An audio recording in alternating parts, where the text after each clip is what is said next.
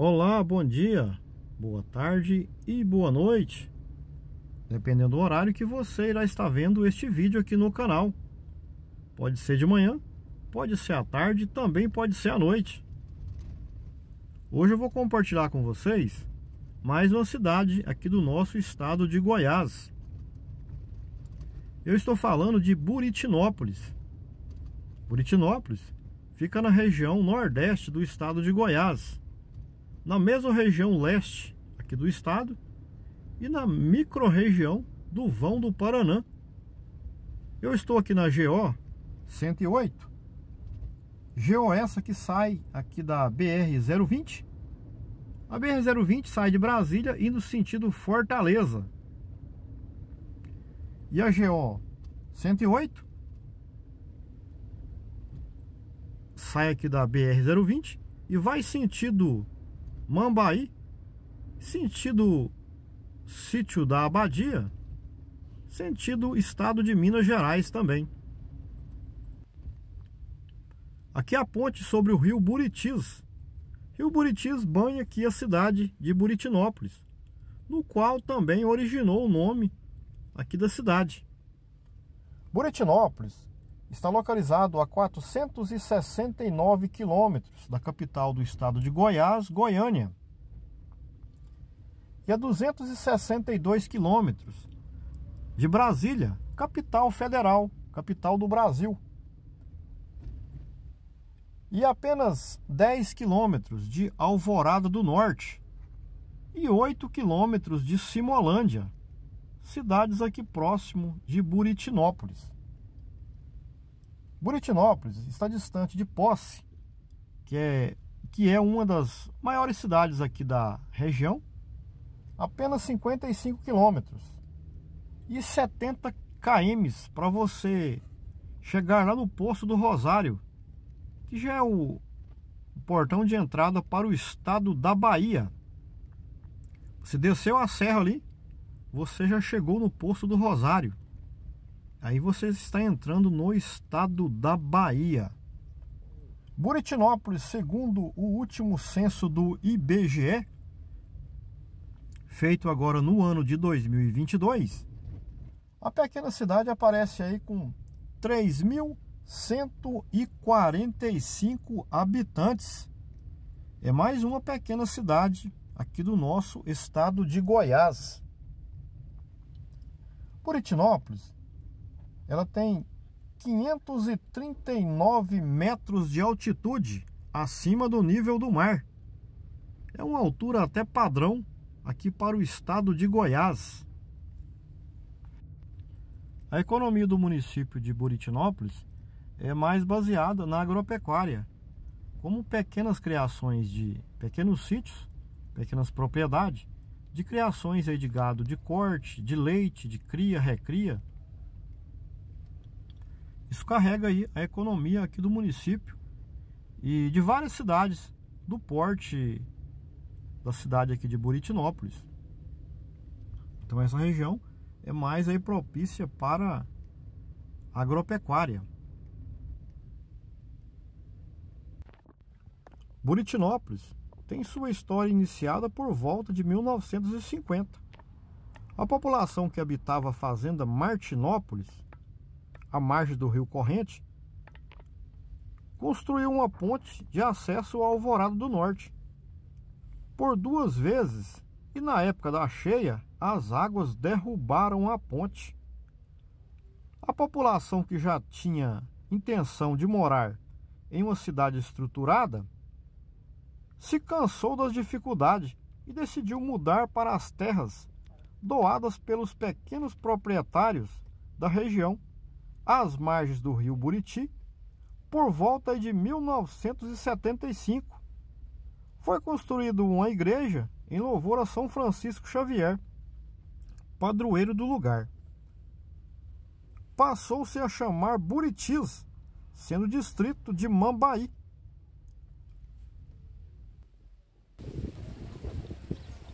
Aqui é a praça da prefeitura, tá a Câmara de Vereadores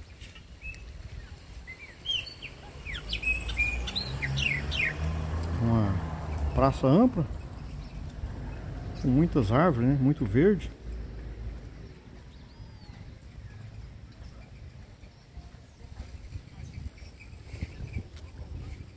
Assim permanecendo em divisão territorial, datada em 1988, e elevada à categoria de município, com a denominação de Buritinópolis, em 29 de abril de 1992, desmembrando então do município de Mambaí. Sede então do distrito de Buritinópolis, ex-povoado de Martinópolis de Goiás. Isto é um pouquinho da história aqui da pequena cidade de Buritinópolis. Eu estava conversando ali é, com o senhor. Eu até conversei com ele, não, vamos bater um papo com a gente aqui. Vamos gravar um, um trechinho aqui da sua história. Ele, não, eu não vou aparecer não, eu não sou daqui da cidade. Ele, ele disse que é do estado da Bahia.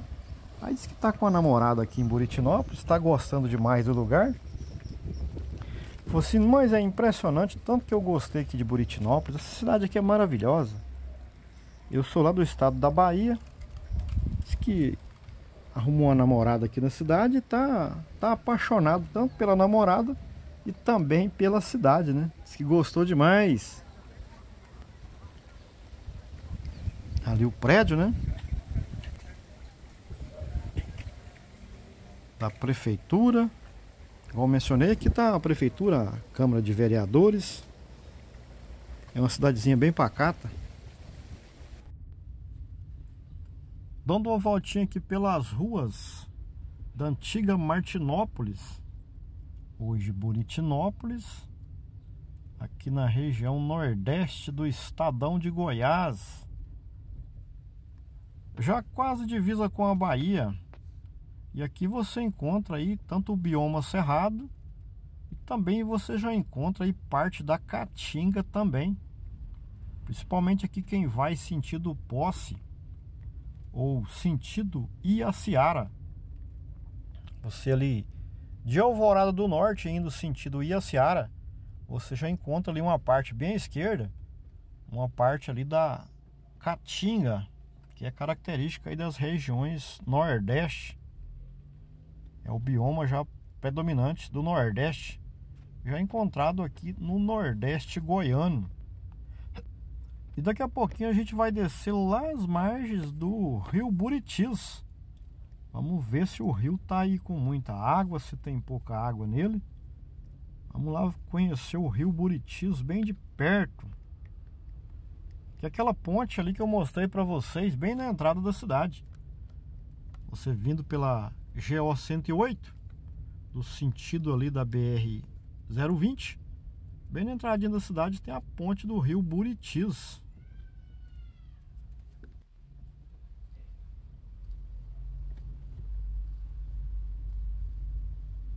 Estamos na parte da manhã, gravando aqui por volta mais ou menos de 10 horas da manhã.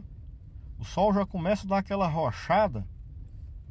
Já começa já a ficar mais quente.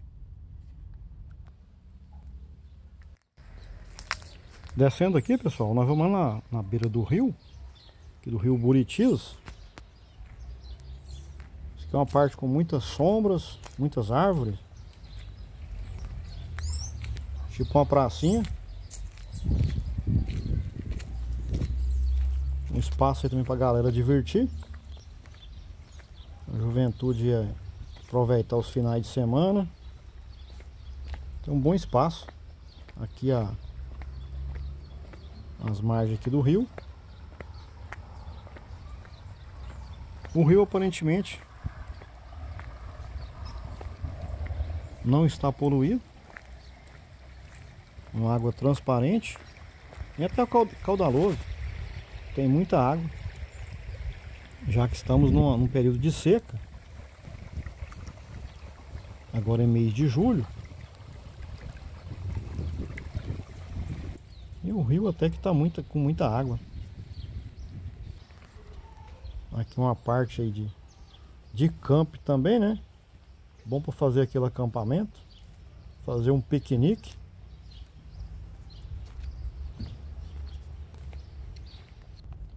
Muito obrigado a todos que estão chegando aqui no canal. Todos os dias estão chegando pessoas novas. Sou muito grato a cada um de vocês. Sejam todos muito bem-vindos.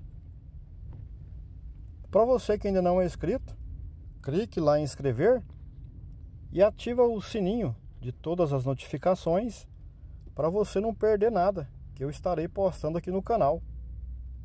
Porque se você só se inscrever e não ativar aquele sininho de todas as notificações, você vai ver algum vídeo em ocasiões que o vídeo é mais recomendado, mas você ativando, aí todos os vídeos que eu estarei postando por aqui já irá aparecer para você automaticamente aí.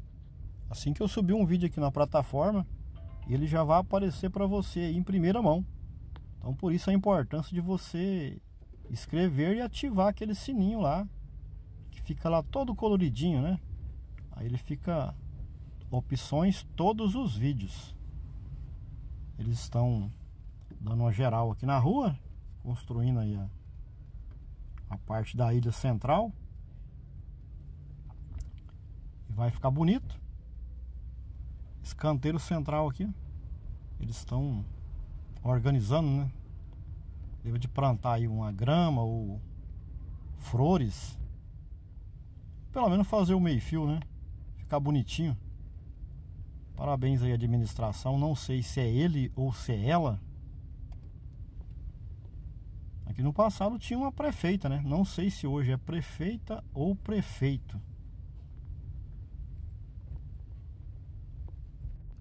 Posso estar falando até besteira, pessoal, porque erro é humano. A gente sempre, às vezes, engana, erra. Mas, se eu não me engano, eu conversei com uma pessoa aqui de Buritinópolis e ele falou que teve aqui uma prefeita, né? Não sei se eu estou enganado. É isso aí, pessoal. Erros existem, acontece. Sempre, às vezes, vou falar alguma coisa que não bate bem. Algum engano. Às vezes, a gente engana com alguma coisa. Como somos humanos, estamos sujeitos a estar tá errando. E eu estou errando também, sempre eu estou errando. Mas se for, às vezes mencionei alguma coisa que não é verdadeiro, me desculpa, foi erro, foi engano. Erros acontecem. Sou humano, tenho direito de errar também. Só não posso permanecer no erro. Mas sempre a gente engana com alguma coisa, erra, pois afinal eu não sou dono da verdade, praticamente não sei nada. Só repasso algo que alguma fonte passa para mim, aí eu repasso. Mas nem sempre, às vezes, é, é verdadeiro. Né? Mas faz parte. Beleza, pessoal? Para você que entrou no vídeo e não deixou aquele positivo, aquele joinha, vai lá, pessoal. Clica lá em inscrever, em gostei, né? Clica lá no positivo. Você já se inscreveu, né? Eu sei que já se inscreveu. Então agora falta você clicar no positivo, colocar o dedinho para cima lá. Ah, Vilmar, mas por que, que eu tenho que colocar lá o positivo, o dedinho para cima? É para mostrar que você está gostando do nosso conteúdo, pessoal. Assim o nosso vídeo vai ter mais relevância e vai chegar aí a mais pessoas. Porque se você mostrou ali o bateu o dedinho positivo, o algoritmo vai entender que você gostou do nosso conteúdo. Assim ele vai distribuir o vídeo para mais pessoas. Se ele apresentou o vídeo para 100 pessoas, ele vai apresentar para 200. Se ele apresentou para 200, conforme ali o número de like, ele vai apresentar lá para 400 pessoas. Daqueles 400 que ele apresentou, vamos supor que 100 pessoas entram no vídeo, ou 50 pessoas entram no vídeo. Já é um ponto positivo aqui para o canal. Então por isso sempre eu bato na tecla aqui, deixa o joinha, pessoal, ajuda bastante. Né? Eu, pessoal, não peço nada, né? Eu não peço, você pode notar aí, quem falar que eu tô pedindo, tá tá equivocado, né? Nosso canal aqui tem opções aí, mas eu não peço, não peço opção valeu, não peço seja membro, não peço. É, tá aí, né? Tá as opções. Alguém que sentir aí no coração às vezes, quiser está colaborando, nós estamos de braços abertos para receber e para agradecer a cada um de vocês. Mas então o que eu peço encarecidamente são para deixar aquele positivo, ver os nossos vídeos aí, né? Ficar no vídeo. E é show de bola. Aí às vezes a pessoa fala, ah, mas eu não gosto do jeito que você fala, eu não gosto do seu jeito, acho chato demais. O cara não sabe nada, tá aí falando, conversando, coisas sem pé, sem cabeça. Beleza, você tem um livre-arbítrio.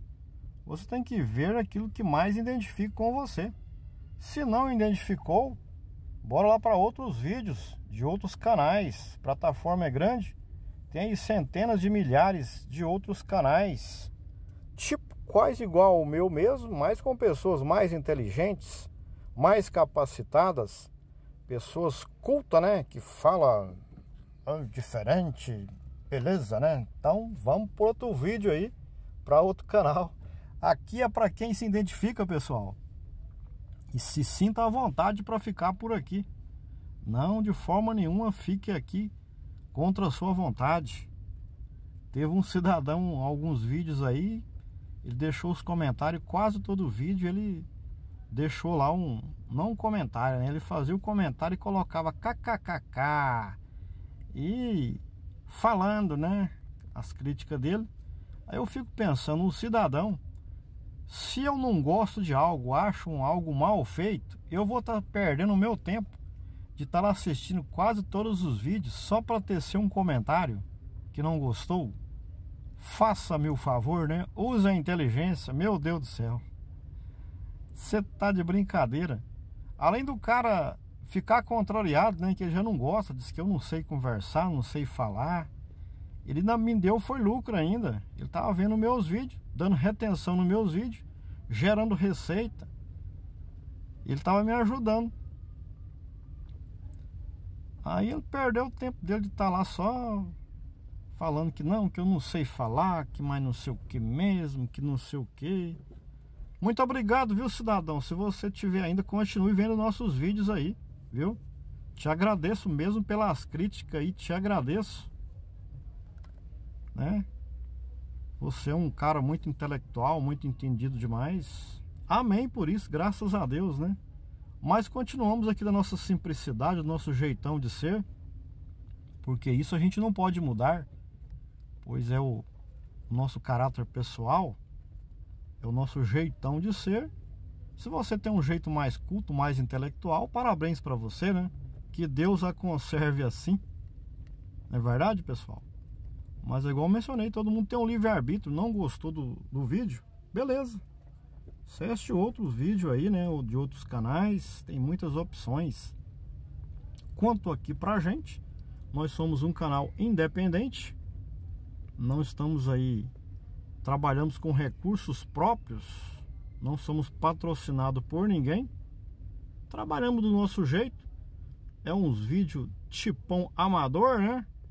Mas fazemos aquilo que gosta. Estamos passeando pelo nosso estadão de Goiás e compartilhando um pouquinho com cada um de vocês. Beleza, pessoal? Mais ou menos desse modelo. E nós vamos por aí passando pelas cidades do estado de Goiás, pelos distritos, pelos povoados. Só lembrando que temos aí centenas de povoados de distrito para ser visitado.